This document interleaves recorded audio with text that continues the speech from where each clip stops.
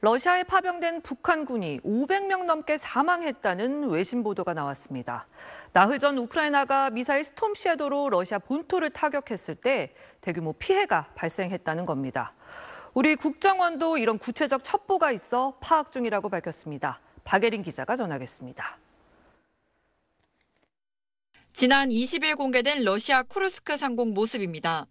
미사일 공격으로 불꽃이 번쩍이더니 여러 차례 폭발이 이어집니다. 이날 우크라이나군은 영국이 지원한 스톰섀도 최대 12기를 발사해 쿠르스크에 있는 러시아군 지휘본부를 타격했습니다. 러시아군 장교와 북한군이 함께 사용했던 시설로 알려졌습니다.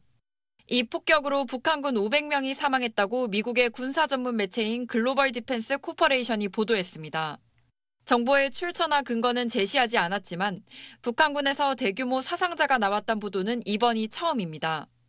앞서 스톰 섀도 공격으로 북한군 고위 장성 1명이 다쳤다거나 모두 51명의 사상자가 발생했고 부상한 북한군 남성 장교 2명과 통역가 여성 1명이 포함됐다고 우크라이나 언론이 전하기도 했습니다. 우크라이나군이 지원받은 에이테크스와 스톰 섀도를 이용해 러시아 본토 공습을 퍼부으면서 북한군에서도 사상자가 발생한 걸로 추정됩니다. 우리 국정원도 북한군 사상자가 발생했다는 구체적인 첩보가 있어 면밀히 파악 중이라고 밝혔습니다. Russia is attempting to gain uh, territories with a huge losses and equipment in manpower. That's why they uh, invite DPRK. Uh, we are resisting uh, against the new axis of evil.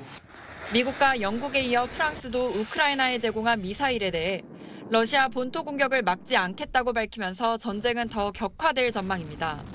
SBS 박예린입니다.